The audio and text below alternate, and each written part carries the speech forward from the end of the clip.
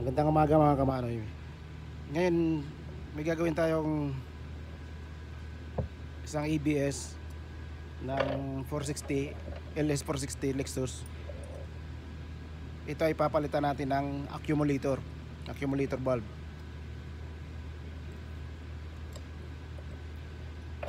Ang accumulator bulb ay ito mga kamanoy. Ito mismo. Nasa loob dito yung mga bulb niya. Andyan sa loob niya. Ngayon makikita natin yan mamaya pag na buksan na natin. Makikita natin yan. Ngayon una natin tatanggalin ito cover. Kasi may nakasolda yan dyan sa loob na connection pin eh. Tanggalin muna natin daw. Ganyan lang diskarte pagtanggal. Yan. Yan. Diba? Tapos sunod dito sa gilid yan. Sa ilalim yan. Tapos ipapasok mo na yan dyan. Yan. Pag napasok mo na yan dyan ikot mo ganyan. Dito naman.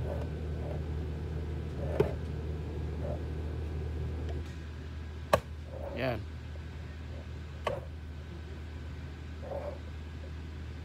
Ah. Ah. Tapos dito sa kabila.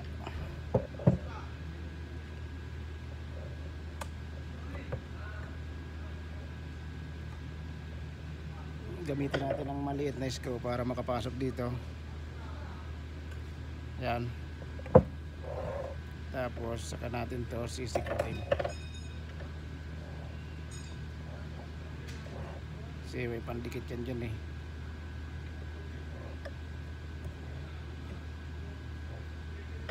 May pandikit kasi yan dyan mga kamanoy sa loob. Kaya medyo mati... Yan. Pero pag natanggal na yung dikit niyan dyan sa loob, lalabas na yan.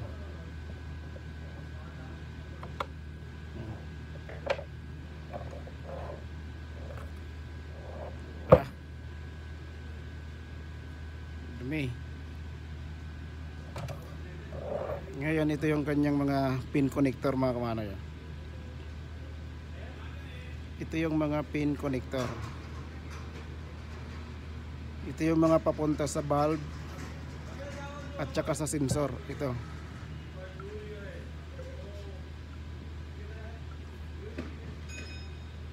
Yan. Ngayon tatanggalin natin yan isa-isa. Simple lang diskarte niyan pagtanggal mga kamanay. Tanggalin muna natin itong mga pin na ito. Ganun lang diskarte niyan mga kamanay. Yan. Yan.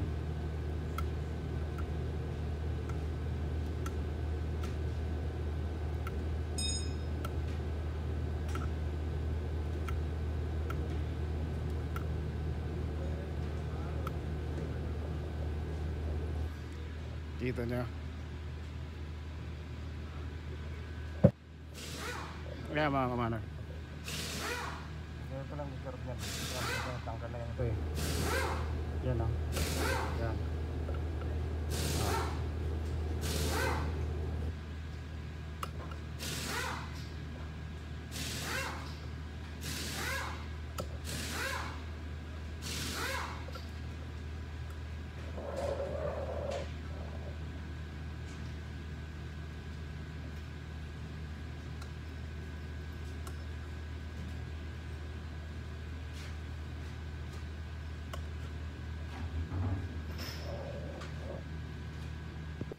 Yan, natanggalan na lahat. Gagawin naman natin dyan. Gagawin naman natin dyan ay at bumitaw na siya lahat. Diretso naman natin dito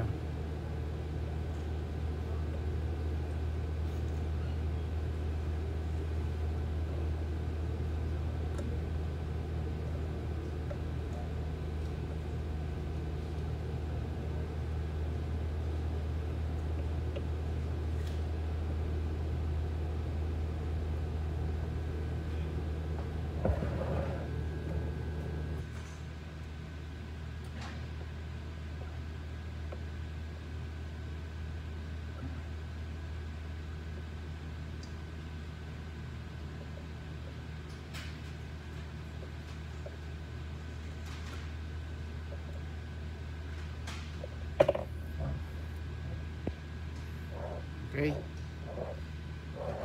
Ayos na yan. Sunod natin tatanggalin ito. Allen key.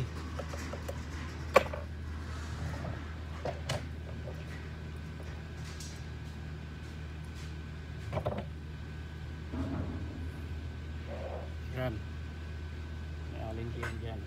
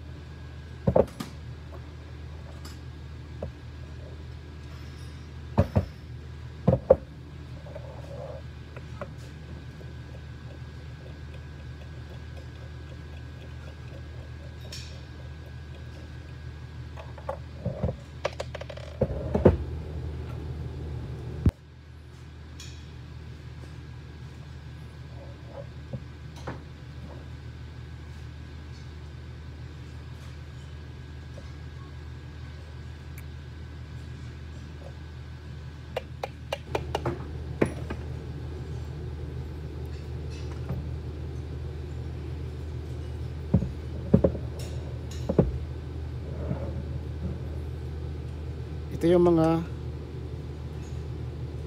magnetic coil. Mga kamanoy. Mga magnetic coil yan. Ito. Ito yung control uh, board. Control board ito. Ngayon, ito naman yung accumulator. Ito naman yung accumulator valve. Ito yung mga valvula, mga valve. Mga valve yan. Ito, valve. Mayroon yan sa loob na pin. Na pag nagmamagnet siya, pag naggumana yung magnetic, aangat. Mag-o-open yung kanyang linya ito naman yung dito naman nakakabit yung master sensor pressure ah, circuit. Andito naman yung pressure sensor nakabit sa ilalim nito. Pag tinanggal mo yan andyan yung pressure sensor. Kaya pag ito hindi nakasolda ng maayos hindi nakahinang ng maayos dito. Magko-code siya ng pressure sensor solenoid. Yan.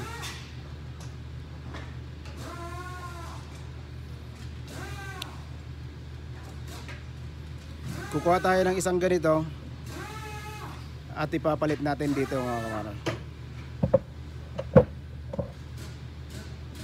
ito na yung pamamalit natin mga kamaran yan. Yun na ipapalit natin. Pandarin lang natin to. Check natin 460 at isasalang na natin to dito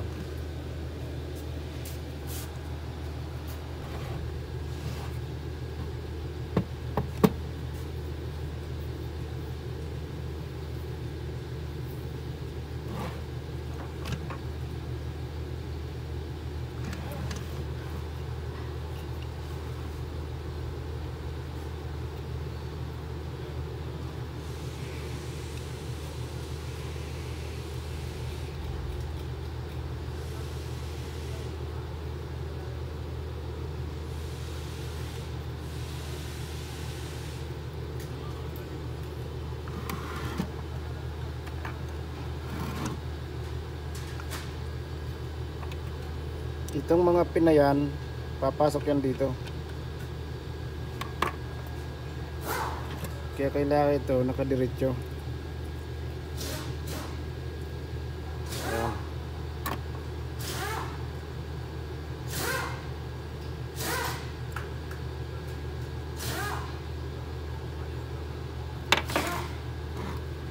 Oh.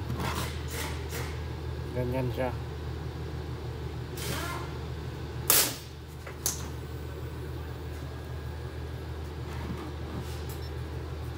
Yan.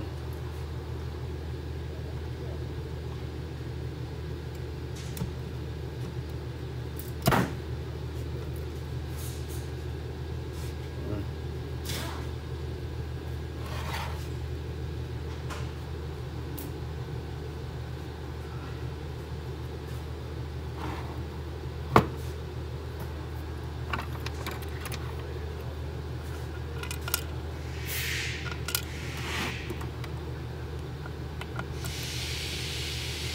Kailangan yan yung pagkasulda mga kamanoy talagang kapit.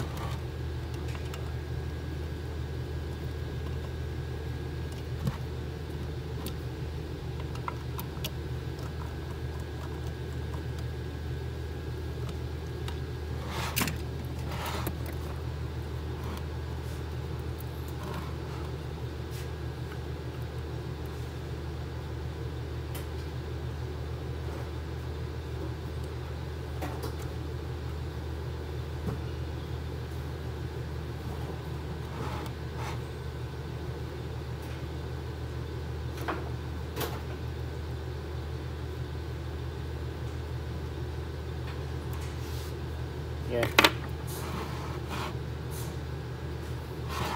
Pag magsusulda dyan pa ganyan, tatagilid nyo ng konti.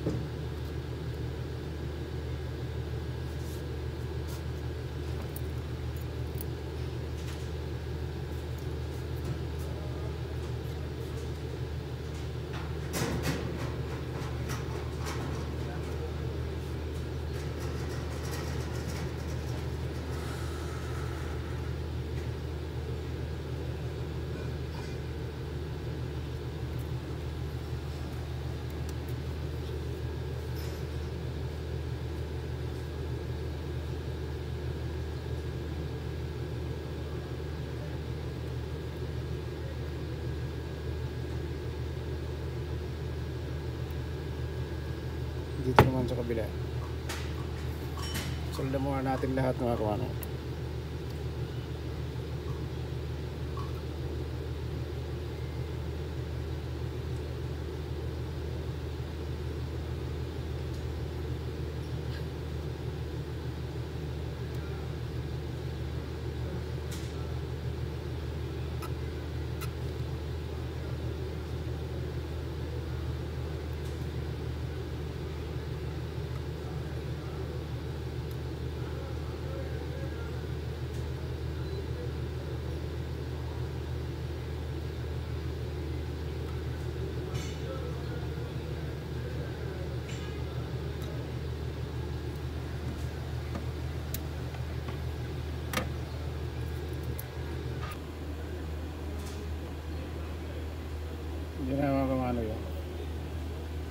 kumano. pagkasaldo natin.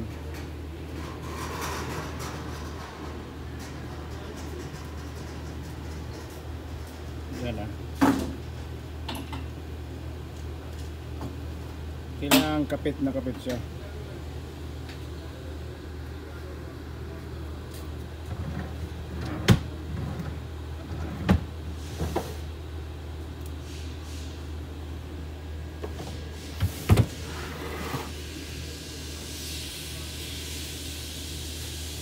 Na yan. Babalik na lang natin yung kanyang cover.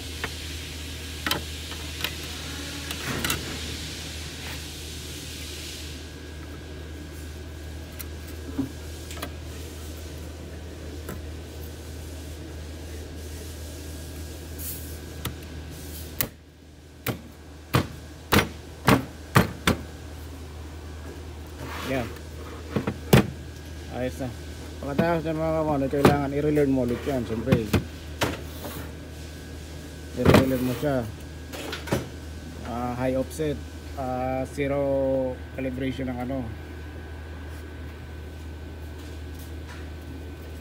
Linear. Maraming maraming salamat mga kaparap.